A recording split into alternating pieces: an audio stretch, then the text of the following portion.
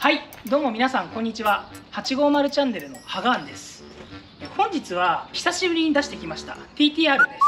す。今日何の動画を撮るかというと今ちょっと映ってるように行動仕様にしようとしています。5月末ぐらいからちょっとずつパーツを買っては伝送品とかを作っていました。で大体もうできたので今回はこれをどんどん組み付けてってえー、保安部品を全部ちょっと動くようにしたいかなと思ってます。久しぶりの TTR の動画なんですが、まあ、TTR を行動化するという、えー、動画になっています、まあ、今回はだから組み付けて全部のウィンカーとかヘッドライトとかがちゃんと動くかどうかっていうのを検証して、まあ、次回以降は実際にナンバーを取ってこうつけられるかどうかみたいなことをやっていこうかなと思います。というわけで、まあ、今日の動画どうぞ。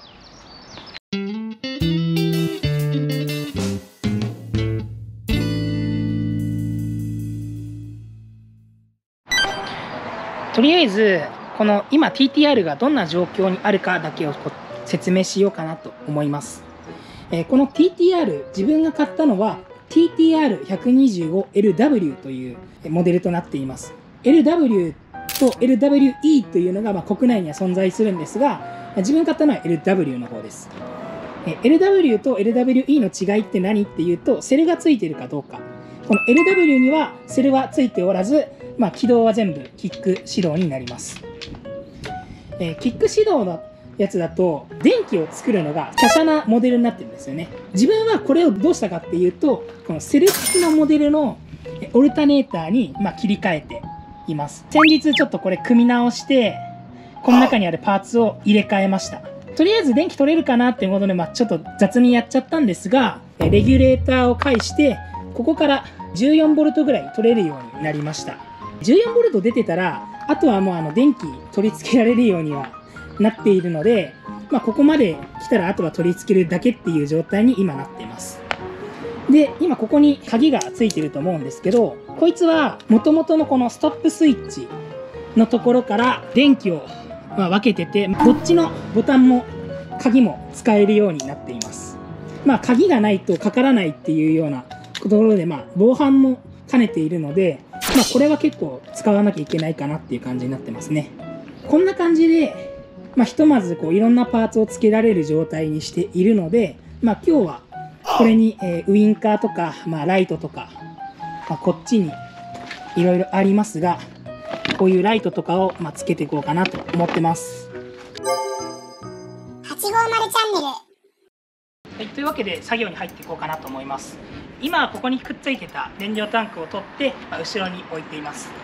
でもここら辺に、えー、ハーネスとかを、まあ、しまい込んで要所要所動画撮りながらやっていこうかなと思います途中雨も降られながらですけどメインハーネスの取り回しとかをつけました。これ今ごちゃついてるしなんならカプラー全部刺さってないんですけどとりあえず全部つくかを調査して、まあ、全部ついたらここら辺きれいにしたりとかちゃんとカプラーを入れたりとかして、まあ、やっていこうかなと思います。リアのショックの上にいろいろつけてるんですけど多分ここら辺はちょっとこういうあの金属に擦れる可能性があるのでブチルテープでぐるぐる巻きにして配線を太らせてフレームで切れて電源がリークしないようにしようかなと思ってます。まあ、ひとまずここまでできたら電気パーツライトとか、まあ、そこら辺のパーツをまくっつけようかなと思います。8号チャンネルスイッチボックスはなんかここんなやつを使いますこれ可愛くないですか？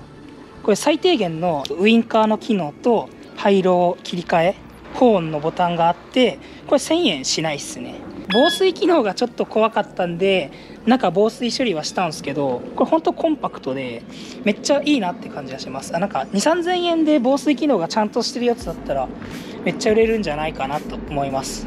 まあ、今回はこれをスイッチボックスとして使います。これは Amazon で1000円ぐらいで売ってるスイッチボックスです。TTR のような小さいバイクには、普通のスイッチボックスだと色々と扱いが大変なので、スッキリしてめっちゃいいっすね。ただ、一つだけ難点があるとすれば、配線が細かすぎることで、多分線が0.2スケアぐらいしかないんで、2A 流すのがギリギリだと思います。配慮の切り替えだったり、本を鳴らすのであれば、別途リレーで制御する必要があると思います。今回本は 1A で駆動するやつだったので、そのままボタンごと繋げてるんですけど、ヘッドライトの配慮の切り替えは A 門の5極リレーで制御するようにしてます。下向きにここ、こっち向きにつけたかったんですけど、クラッチのホルダーがちょっと当たっちゃうので、こう、こっち側、なんか手前側に斜めにくっつくようにつけました。まあ、これはこれで使いやすくなったんでいいかなと思います。普通にクラッチの操作邪魔しないし、まあ、手前にあるからそんな変なことはなんないのかなって感じはします。次はウィンカーリレーです。これはあの DRC のものを使ってます。電源をちゃんと入れてあげれば LED でもすぐついてくれるっていう優れものです。このスピードメーターのステートを共締めすることにしました。誤作動起きたりとかちょっと使い勝手悪かったりしたらちょっと場所を考えます、まあ、固定できたのでよしとします。これで何かあった時はちょっと変えますね。テールライト、まあ、これも Amazon で買った2 3 0 0 0円ぐらいで買える安物なんですがちゃんと、まブレーキランプつくようなものになってます。ウインカーはま2 3 0 0 0円のつくようにしてまあ、こんな感じにしてます。ここから出てる配線がまあこういう風にまとまっててテールライトとかあと右左のウインカーの配線とかがあります。DRC のハーネスをつなげてあげれば、えー、後ろのライトもつくはずです。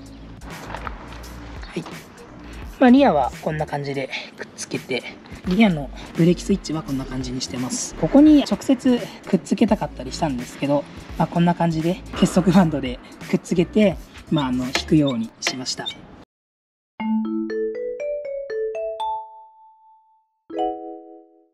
えー、今回使うスピードメーター、なんかよく見るやつです。Amazon でバイクスピードメーターって調べると、まあ、これが大量に出てくる感じですね。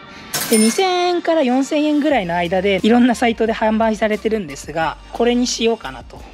これ普通にスピードも出るし、回転も取れる。あとはニュートラルから6までのギアポジションとかも、まあ、取れる結構多機能なもので結構安いっていうこれ人気みたいですねこのタコメーターとスピードだけ使いたいかなと思います保安基準的にはスピードだけ分かればいいのであのタコメーターの回転とか取れなくても、まあ、最悪いいかなって感じはしますね。えー、配線はまあこんな感じにしてます。えー、自分はあの最初についてきた時に、まあ、ピンアサインがちゃんとされてるかどうか分かんなかったので自分でいろいろと検証したりとかしてました。ACC と常時電源のところに電源入れてグラウンド落としたらちゃんと起動するかどうかとか。あとはこのウインカーの右左がちゃんとつくかどうかとか、まあ、調査してましたね、まあ、これちゃんとつくことはあったので、まあ、こっちもちょっとつけていきます。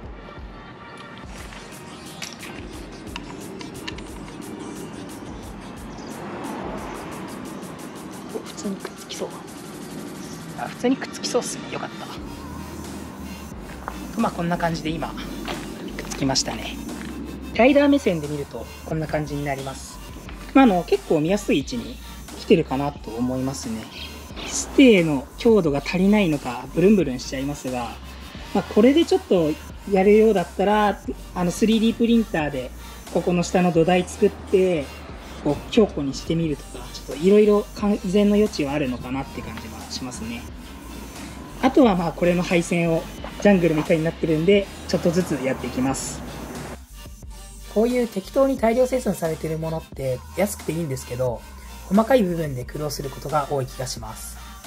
このメーターは多分大量にコピー品が出回ってて同じ形でも配線が違ったりとかそもそも説明書と言ってることが合ってなかったりとかよくあります。自分は Amazon のレビュー欄から配線の詳細を漁って自分で配線の色と機能を対応づけてました。今映ってる画像はその時のものです。なんかこう参考にする方とかがいらっしゃれば、まあ、こちら使っていただければなと思ってます。え、お次はライトをくっつけます。こいつは Amazon で3000円くらいのライトカールキットで、バルブ級がついてるんですが、自分で H4 の LED に切り替えました。ライトの電源どうしようかなって思ってたところで、まあ、自分で H4LED を点灯させる回路を自分で作ってます。35W の LED なんで、えー、流れてもえ 3A ぐらい。なんでまあ 5A でちょうどいいぐらいかなっていう感じになってます。スイッチボックスから来たあのハイロー切り替えで、えー、このリレーを切り替えてハイとローを切り替えるような形ですね。まあ、これまあなんか雑に作ってこんなもんでできるのかなって思ってちょっと作ってみたんですけど、まあ、実際車のバッテリーにつなげたところちゃんと光ってくれました。なのでまあ動くことは確認済みですね。1分ぐらいつけてたんですけど別に燃えることもなくちゃんとあのくっついてたので回路切り替えもできたっていうことでまあこんな感じにしてます。どんな感じで作ったかとか回路はあのここら辺に貼ってると思いますがあの真似される方は自己責任でお願いします、まあ、ヒューズとかちゃんとあの 0.5A のものを入れたりとか 5A のものを入れたりとかあとは配線の細さとかもうちょっとあのちゃんと考えてやらないと最悪燃える可能性があるので本当ここら辺はあの真似される方は注意してください。というわけでライト類とか全部大体つきました。今配線ごちゃついちゃってますけどこれでひとまず配線しようと思ってたものは全部ついている状態です。この後ちょっとガソリンタンク乗っけてちゃんとつくかどうかをやってみようかなと思います。まあ、これで何かバシュンって言ったら今日一の取れ高になる感じはしますがないことを願いたいですね。まあというわけで、まあ、この後はちゃんと動くかどうかを見るところになります。とい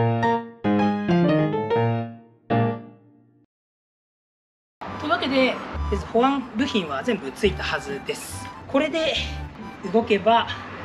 いいけどどうなんですかね。これでなんかバンって言ったらちょっと笑ってやってください。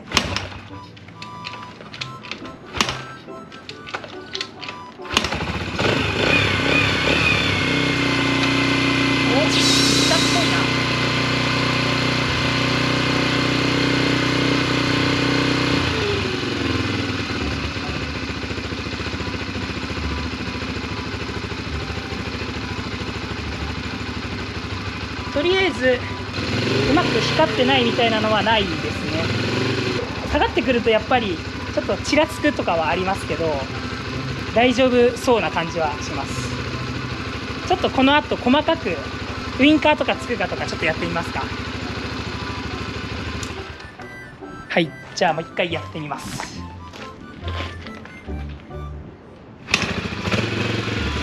ライトはついてますね。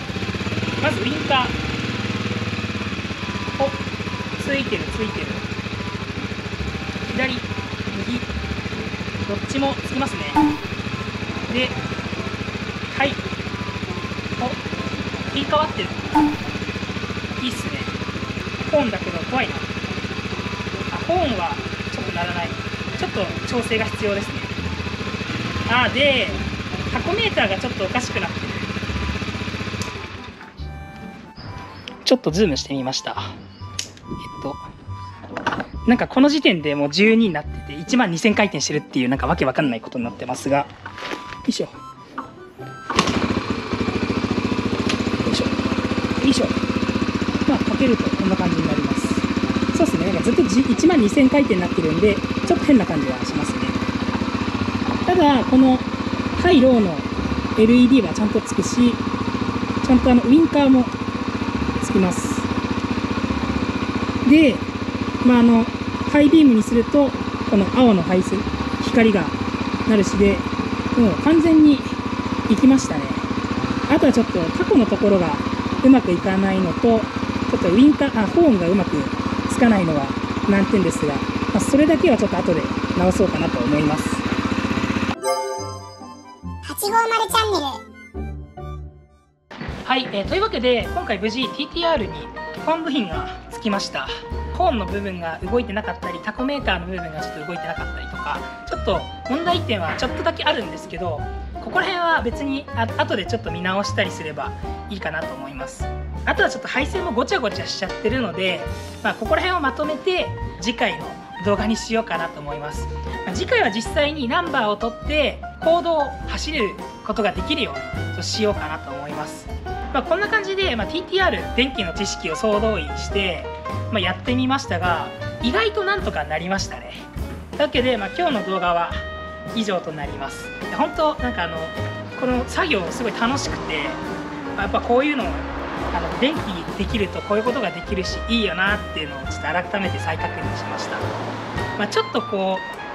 やんなきゃいけない作業は残ってるんですが、まあ、今回はこの辺でちょ動画を締めさせていただこうかなと思います、えー、ご視聴ありがとうございました、まあ、次回の動画も見てください。バイバーイ。